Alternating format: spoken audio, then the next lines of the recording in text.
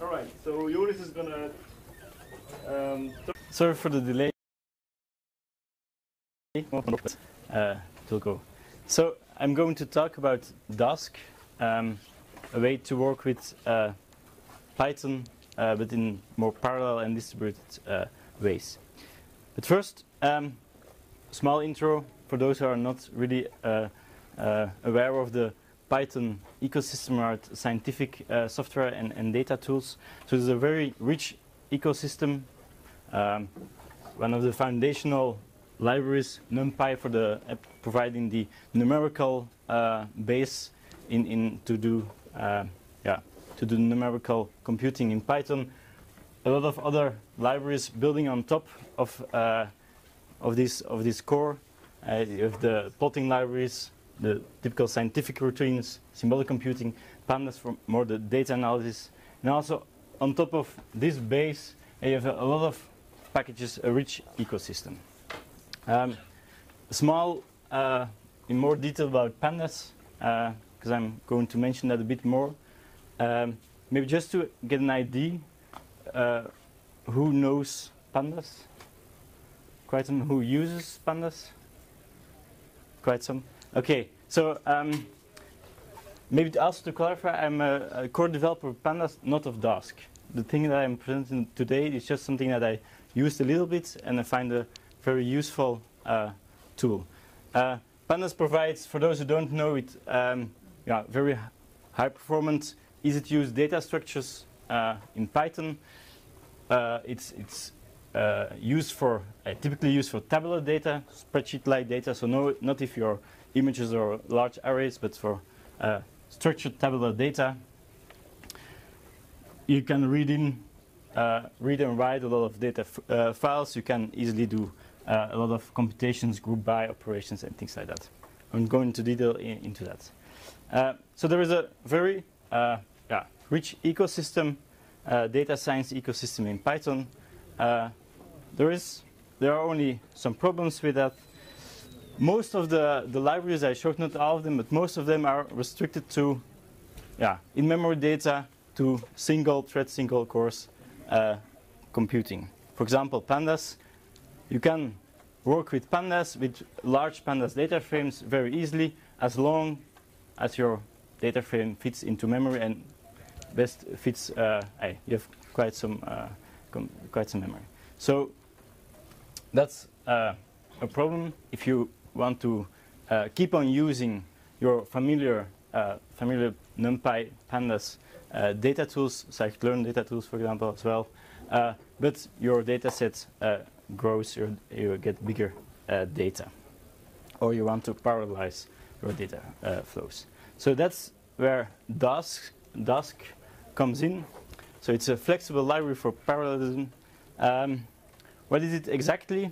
So it tries to do uh, parallel computing, which lets it lets uh, lets you work on on data sets that are larger than uh, your memory. So to solve and what I uh, mentioned in the previous uh, slide. But it's a very simple library. It's written in pure Python. But how does it, yeah, obtain this goal to get parallel computing, distributed, efficient distributed computing in Python? Because it just uses the existing ecosystem. It doesn't do any computation itself. Uh, it will just, uh, yeah, build task graphs and based on, blocked algorithms and do some uh, do schedule these graphs and yeah, try to do that efficiently. Um, now I had a little demo to quickly show you some things, but most of the things are also on my slide. So um, what is the ID? It provides uh, some collections. For example, it provides Dask arrays, which is, it tries to mirror the NumPy array interface, but under the hood, it's just a collection of many NumPy, NumPy arrays who don't have to be in memory. So um, the Dask array is just, it will coordinate those uh, collection of NumPy arrays. And if you, for example, do, uh, you want to do a sum of uh, yeah, a very big array that doesn't fit in your memory, or you want to do that parallel, this sum, it will read in all the different chunks, uh, take a sum of each chunk and then combine those different uh, sums. That's the, the idea of the blocked algorithms and Dask knows, knows about NumPy arrays and knows about how to, uh, yeah, let, uh, how to make a task graph that can do such algorithms. But the actual computation still is just NumPy. Will still do the, the actual computation. But in that way, in, in that way for example, uh, the Dask arrays are, are used with the, also with the X-array project. Typically, large climatic data sets, um, for example, the temperature of the full globe for uh, several uh, years. Typical array data that don't fit in your memory, uh, but you can still do it on your own laptop. Can work on my own laptop with a very large data set because it doesn't uh, read in all the data at once, and it can also use a different cores of my laptop to uh, use them more efficiently. And it provides uh, very uh, many functions that are available in NumPy will provide Dask as well. Uh, so you can, uh, yeah, it's very familiar to use if you already know NumPy or know Pandas. The same for a Dask data frame. The same uh, concept, but now instead of wrapping uh, many arrays, it wraps many pandas data frames. And again, in this way, you can uh, yeah, work uh, in parallel out of core with a very large data frame that uh, doesn't fit in your memory or where, for example, uh, for more the distributed case, where your actual files or your actual data is, for example, distributed over different uh, nodes of your cluster. Um, again, small syntax example. So instead of uh, reading with pandas, you do the read CSV uh, from Dask data frame. What Dask does is all those operations, reading a bunch of CSV files, doing a group by operation, for example, taking the mean of a certain column. Uh, this is all lazily done. So it builds a task graph to do those computations. And it's only, and that's the difference. And so this is the difference with when using pandas. It's only when you explicitly say, now I want to compute my results, that it will, the, the task graph that was, has been built up will execute it in parallel or distribute it on a cluster. Um, so, for example, if you take a, simple sum, the, the, the graph will not uh, look that very uh, not that complex. These are all your chunks, all your different arrays. It will uh, read them in. It will take a sum, combine them. Uh, so typically, um, yeah, reduce them to smaller values. But you can also get much more complex graphs. for example, in this case, this is an example of using a matrix multiplica multiplication. For example, with a time series in, in pandas, you can typically do a resample to convert, uh, for example, from hourly uh, an hourly time series to, in this case, a weekly time series. So that is Dask. It knows those. Uh it doesn't do any computation itself, as I said, but it knows what the resample is. It knows how to do that and how to translate this in a, in a task graph. It knows that, for example, if I do a resample, that on, on the boundaries I will have to yeah, uh, pass some, some data from the one uh, chunk to the other to uh, create the continuous time series. Um, another example, a rolling, so a moving average or moving window. If, you are, if your data are uh, yeah, divided in different chunks, each time uh, the last part of a, of a certain chunk will be uh, have to be combined with the next chunk to have a, a continuous rolling operation. Of course, those collections uh, work nicely if, if, your, if your problem, if you, the exact computation you want to do is an array or a data frame. That's not always the case. So it's also very flexible. You can create such task graphs yourself. It can be an arbitrary task graph um, and it also provides some uh, functionality to do that more easily.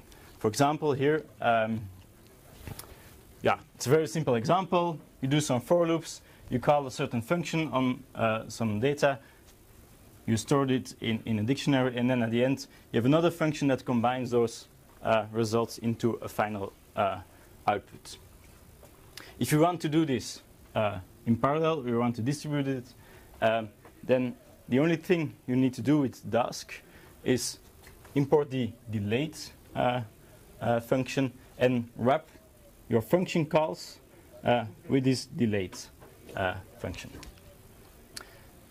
By using these delays, it won't execute directly when you run these codes, but it will build up the corresponding Dask graph, and then you can let it, uh, yeah, Dask compute it.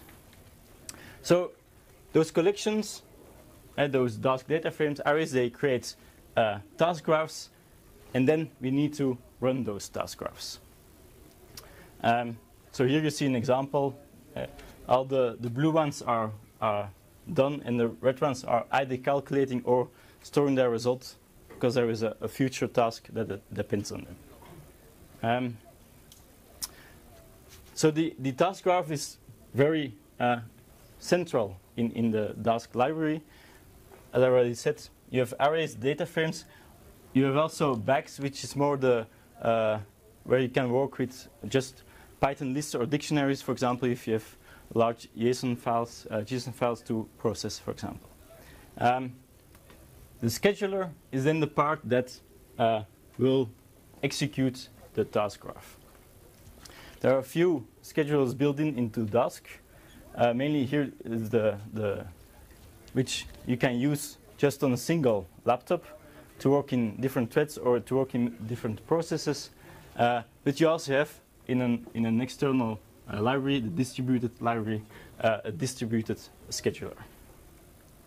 So, and that's the easy thing. You have different schedulers, but this part, the way how you interact with your code, how you write, uh, work with uh, arrays or data frames, is rather, it's almost exactly the same whether you work on your own laptop, for example, with multiple processes, or you work on a cluster with a lot of uh, uh, nodes spread over a cluster. So that makes it very easy to uh, yeah, change the, the scheduler where you exactly run it uh, because you only have to, yeah, the initial uh, uh scheduler, uh, you have to change that.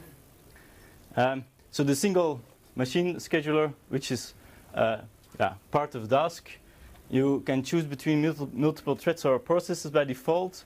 For working with arrays, it will use um, different processes because NumPy and uh, Pandas can release the GIL for many operations. And this is a very uh, yeah, small and, and stable library. The distributed one, where you just have your, uh, you build a task graph on your own uh, machine, but the scheduler of, uh, can be on a remote cluster with many workers. so there, the that's the distributed scheduler.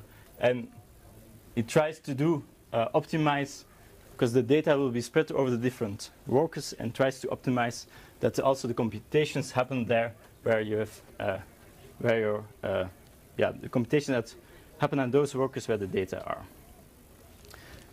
It also provides some uh, built-in into this these projects some visual da uh, dashboards where you can see, uh, for example, the different tasks that are executed over time, which is very easy to understand what is happening, but also uh, yeah, to uh, uh, look into problems. For example, if you would see a lot of white space, that means that there, uh, there are no computations running, so we can diagnose uh, certain problems. Those are also interactive graphs, so you can see what exactly uh, is happening at certain points in time. So the red ones are the data communication. That's also if you would see a lot of red, it's also uh, a sign that something may be wrong. So to summarize, Dask is a so task scheduler. It's very familiar if you already know NumPy and Pandas.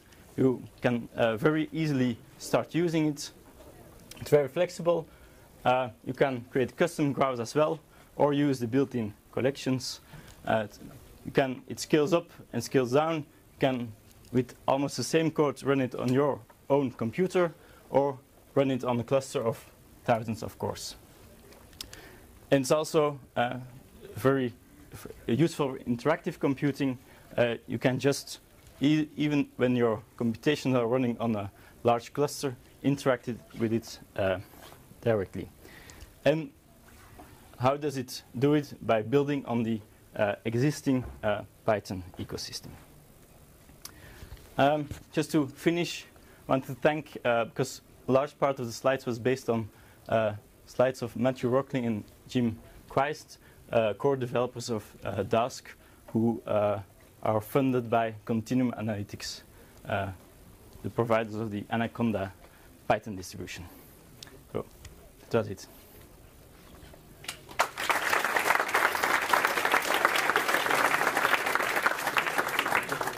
Thank you very much, Joris. Time for questions.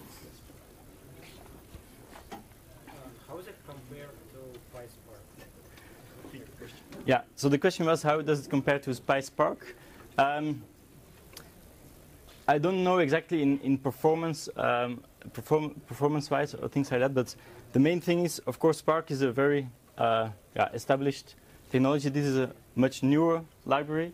Um, the, um, for me, the main advantage is it, it builds, uh, it uh, uses the existing Python ecosystem, so it's also the, you're more in the, the C uh, environment and not in the, the uh, uh, Java JVM based environment.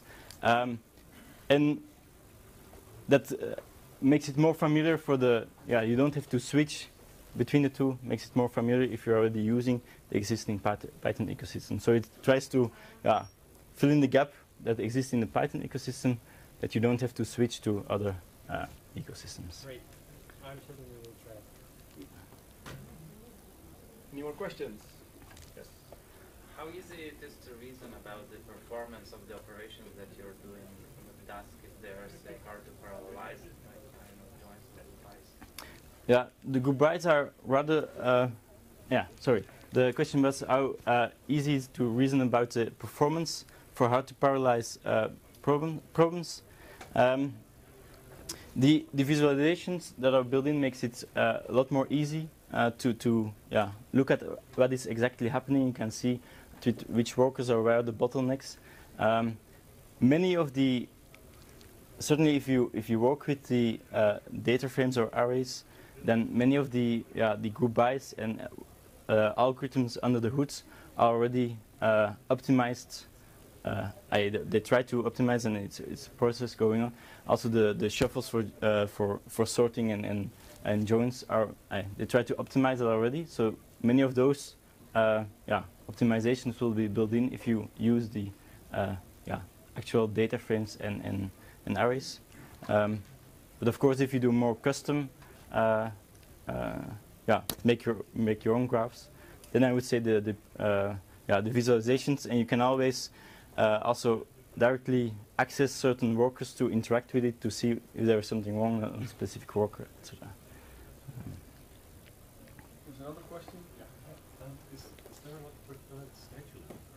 Hmm? when you're running? Sorry. When you're running tasks on large clusters, is there a generally a particular that? Uh, for the the sorry, yeah, question. If you're running on a cluster, is there a specific scheduler? So for now, um, on for the cluster, it's only uh, one scheduler that they are developing, the distributed scheduler, um, which just yeah creates a lot of workers and it communicates with all those workers. So it's only on, on your own laptop that you have uh, some different uh, options. It's a new project. Is it already often used in production? Or? Um, so the question was, uh, that's a new project, whether it's already used in production. Um, I know that the um, so the Dask developers are for certain parts are um, uh, working together with um, some companies in the US. Uh, I think uh, Capital One is one of them um, that uh, are using it and, and and by their usage trying to optimize certain uh, shuffles and joins and things like that. Um, also in the, um, but I don't know if they're already use it in production. I think they are still developing within within the company. Um, also in the the X array um, package, it's it's a yeah in the Python ecosystem it's it's a bit a merger of pandas and and and uh, NumPy in the sense you have multi-dimensional arrays but with labels there, uh, which is used in the, with climatic data a lot. Um, they also heavily use uh, Dask to um, parallelize their But you workflows. can foresee some hiccups Yeah, I think I think so. Um, yeah, I'm not very well positioned to to uh, to uh, yeah eva- evaluate that. Um, there are certainly some things, for example, to setting up set it up on a cluster. It's uh, less integrated as other uh, uh, things. You will have to do some more uh, manual things, but that are, yeah, tools to do that more easily are are growing. So they're certainly less well integrated as, uh, for example, Spark, which you can easily set up and things like that. Time for one more question. I have one. Um, do you have any idea of the biggest scale that Dask is being used on in terms of number of cores or workers? Um, on the I know the Matthew Rocklin uh, set it was used on yeah a bit more than between 1000 and 2000 cores, um, and it should in principle so they also uh, he also said it on on a blog post recently. He would very I much like that people try it out with larger things because it's very difficult as a developer to try it on such large scale. Um, but in principle, it should yeah, scale uh, higher. The the only limitation will be the the scheduler. Yeah, the, the time to the communication time of the the, the core uh, scheduler. Okay, thank you very much, Yuri.